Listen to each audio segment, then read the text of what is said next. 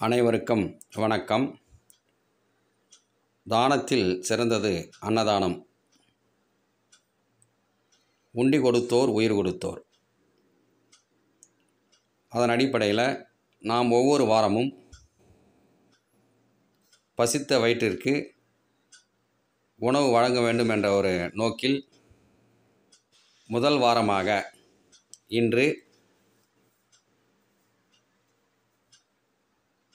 பசித்தவர்களுக்கு நம்மால் முடிந்த ஒரு வேளையாவது உணவு வழங்க வேண்டும் என்ற அடிப்படையில் இன்று முதல் நிகழ்வாக உணவு பரிமாறிக்கொண்டிருக்கிறோம்.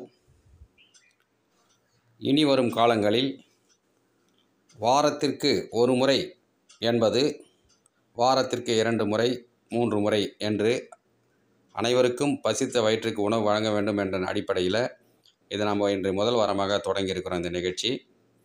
அடுத்தடுத்து நாம் இதை வந்து நம்ம செயல்படுத்தி முடிந்தவரை அனைவருக்கும் உணவு வழங்க வேண்டும் என்ற அடிப்படையில் தான் இந்த காணொலியை நம்ம உங்களுக்கு பகிர்ந்துக்கிறேன்.